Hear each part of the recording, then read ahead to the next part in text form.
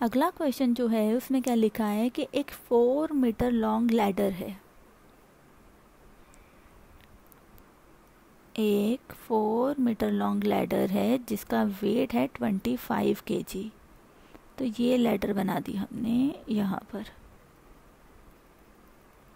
इसका मुझे wait basically wait नहीं है, ये मास दे रखा है मुझे twenty five K G it rest with its upper end against a smooth wall and lower end on a rough ground.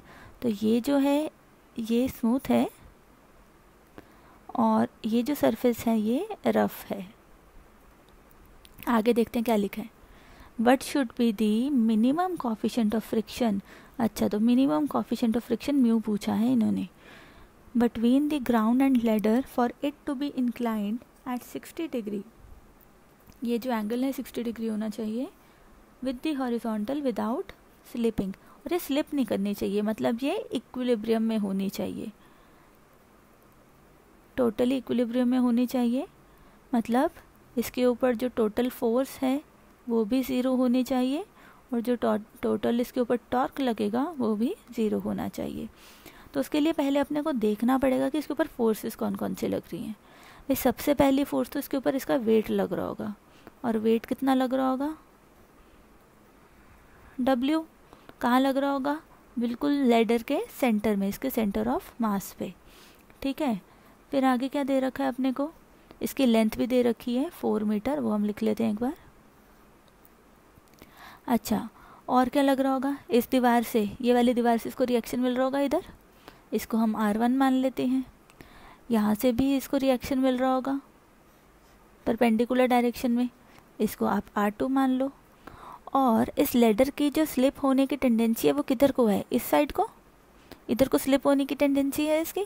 तो फ्रिक्शन किधर लगेगी? फ्रिक्शन लगेगी ऑपोजिट डायरेक्शन में। ये लग गई फ्रिक्शन ठीक है? अब आगे देखते हैं।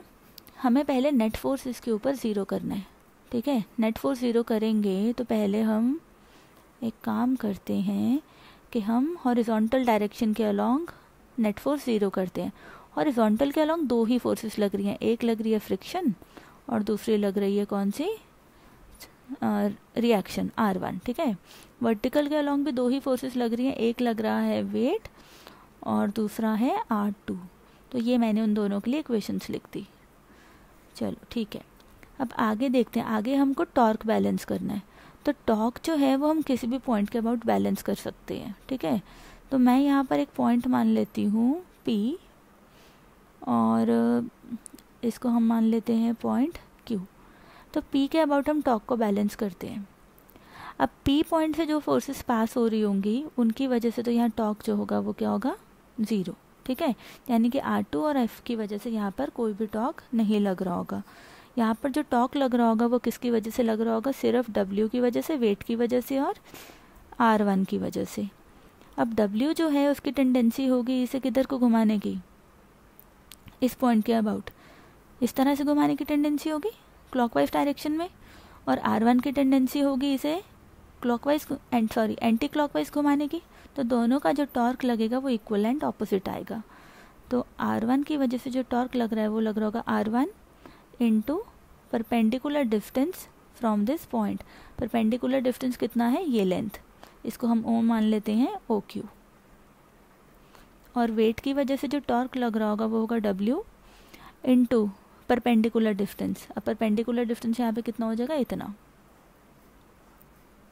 ठीक है? इसको हम ले लेते हैं कोई पॉइंट आर ठीक है? तो ये होगा डब्ल्यू इंटू पी आर तो सबसे पहले अब हमको क्या करना पड़ेगा ना कि हमको ओ क्यू और पी आर की वैल्यू भी फाइंड करनी पड़ेगी। आर वन तो चलो एफ़ के बराबर हो गया। ओ क्यू किसके बराबर है? ओ क्यू ये लेंथ है ना? तो ओ क्यू जो है, वो फोर का साइन कंपोनेंट हो जाएगा। ओ क्यू को मैं ऐसा लिख सकती हूँ? O Q is equal to four sine sixty degree and this is W into P R अब पी आर जो है, वो कितना होगा? भाई, ये जो लेटर की आधी लेंथ है ये होगी टू मीटर, है ना? तो पी आर को मैं लिख सकती हूँ टू कॉस सिक्सटी डिग्री। सही है ना? अब फ्रिक्शन कितना आ जाएगा? फ्रिक्शन आ जाएगा मेरे पास mu into R two into अब यहाँ पे थोड़ा सिंप्लीफाई कर देते हैं पहले ही, इसे टू लिख देते हैं। इंटू टू साइन सिक्सटी यानी कि two root three by two equal to W और ये कॉस सिक्सटी कितना होता है? वन बाई टू तो यहाँ से टू और टू कैंसिल हो जाएँगे। आर टू देखो आर टू भी डब्ल्यू के बराबर है। तो यहाँ से आर टू और डब्ल्यू भी कैंसिल हो जाएगा। तो म्यू अपने पास आ जाएगा one by two root three इसे आप सॉल्व करोगे तो ये आएगा पॉइंट टू नाइन के बराबर। थोड़ा लंबा चला गया ये क्वेश्चन पर आई होप आपको समझ में ज़रूर आया हो। और फिर भी लगे नहीं समझ में आया तो मुझे बताना ज़रूर आप। इसको मैं दोबारा सॉल्व करवा दूँगी। ये हुआ ऑप्शन बी ठीक है? चलो अब आगे बढ़ते हैं। अगले क्वेश्चन में अब अपने को क्या दे रखा है कि an object is kept on a smooth inclined plane of one in L सबसे पहले तो जब ये लिखा हो कि वन इन एल इसका मतलब क्या होता है? वन इन एल का मतलब होता है साइन थीटा हमें साइन थीटा की वैल्यू दे रखी है वन बाय एल यानी कि ये कोई ऐसा ट्राइंगल बन रहा है जिसमें परपेंडिकुलर अगर वन है तो हाइपोटेन्यूज एल है। यहाँ से हम बेस भी निकाल सकते हैं। बेस कितना होगा? It will be equal to under root of hypotenuse का स्क्वायर माइनस परपेंडिकुलर का स्क्वायर ये मैंने पाइथागोरस थ्योरम लगाया यहाँ पर। तो ये हो गया एल स्क्वायर माइनस वन ठीक है ना?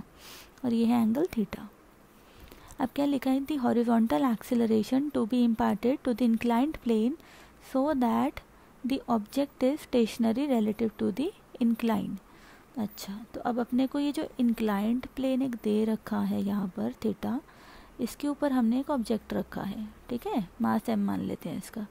ये इस तरह का क्वेश्चन बहुत आता है। आप डायरेक्ट इसका रिज़ल्ट भी याद रख सकते हैं कि एक्सेलरेशन जो होगी वो जी टेन थीटा के बराबर होनी चाहिए।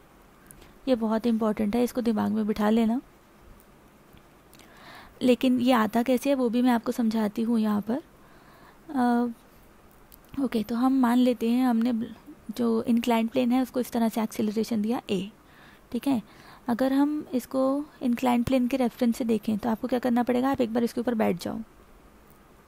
क्योंकि जब आप इंक्लाइंट प्लेन के ऊपर बैठ जाओगे तो क्वेश्चन के अकॉर्डिंग इंक्लाइंट प्लेन आपको हमेशा लेफ़्ट पे दिखना चाहिए, ठीक है ना? तो उस केस में आप इसके ऊपर एक सूडो फोर्स लगाओगे ऑपोजिट डायरेक्शन में। एम ए लगा दिया आपने सूडो फोर्स ठीक है। अब आपको ब्लॉक लेफ़्ट पे दिख रहा है। और आपको ब्लॉक पे कौन सी फोर्स दिख रही है? एम जी साइन थीटा नीचे की डायरेक्शन में।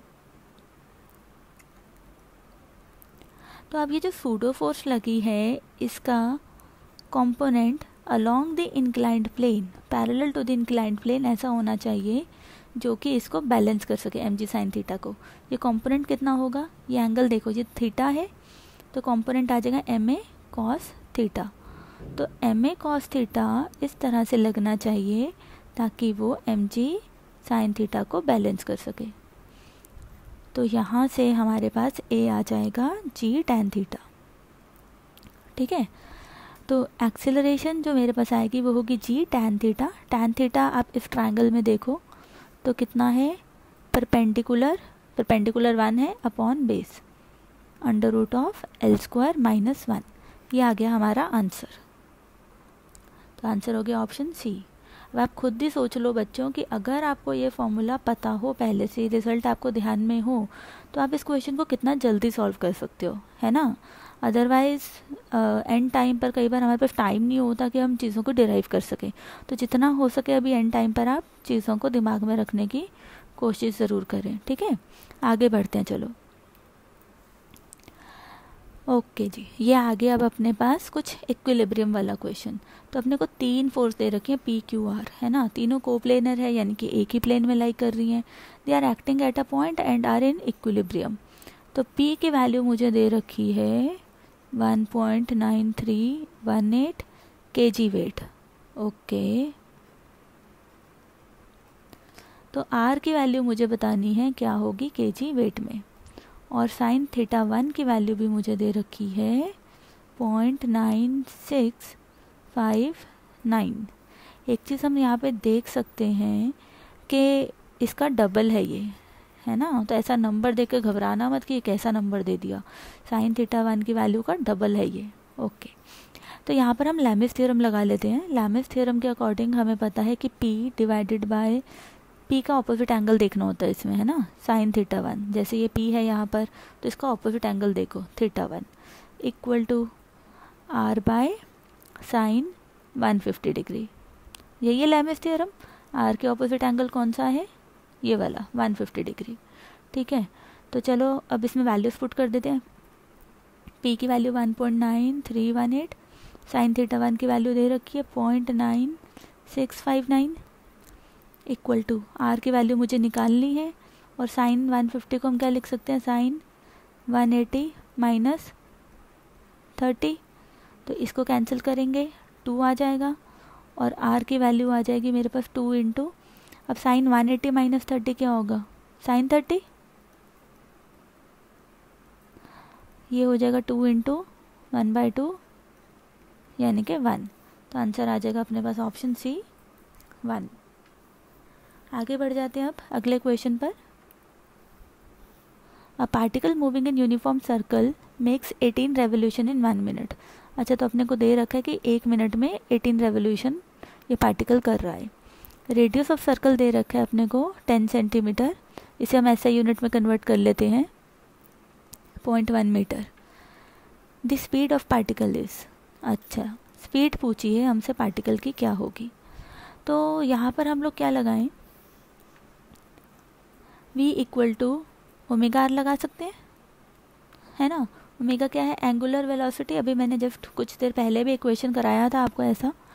और ओमेगा को हम लिख सकते हैं two pi into frequency into R two pi को एज इट इज़ लिखें फ्रिक्वेंसी क्या होगी? Number of revolutions divided by time तो कितनी रेवोल्यूशन हो रही है? एटीन रेवोल्यूशन हो रही है, कितने टाइम में? सिक्सटी सेकेंड में, क्यों? क्योंकि एक मिनट सिक्सटी सेकेंड के बराबर होता है है ना? इंटू रेडियस रेडियस कितना है? पॉइंट वन अब इसको जब हम सॉल्व करेंगे, हमारे पास क्या आंसर आएगा?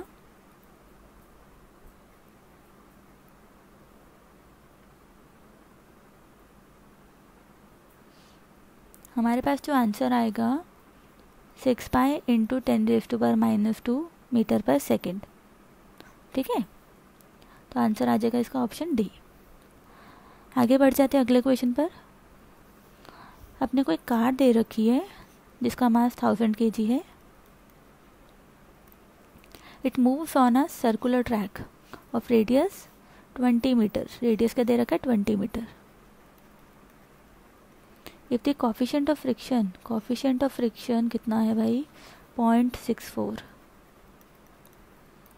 ठीक है। Maximum velocity with which the car moves तो ये एक्चुअली डायरेक्ट फॉर्मूला है। मैक्सिमम वेलोसिटी वो कार लाइक uh, कितनी मूव कर सकती है ऑन अ सर्कुलर ट्रैक उसका डायरेक्ट फॉर्मूला है। मैक्सिमम वेलोसिटी होती है under root of mu R G इसको बहुत ज़्यादा यहाँ पे डिराइव वगैरह करने की ज़रूरत नहीं है। इसका डेरिवेशन में आपको फिर कभी जब हम इसके ऊपर डिटेल में बात करेंगे, तब मैं करवा दूँगी। तो म्यू की वैल्यू दे रखी है अपने को पॉइंट सिक्स फोर आर की वैल्यू दे रखी है two zero twenty and G की वैल्यू लेनी है हमें टेन इसको आप सॉल्व करें। तो ये आ जाएगा अपने पास कुछ eight root two metre per second तो एट से जस्ट बड़ी जो वैल्यू दिख रही है, वो इतनी ही दिख रही है। इसको आप सॉल्व भी करेंगे तो आंसर यही आएगा।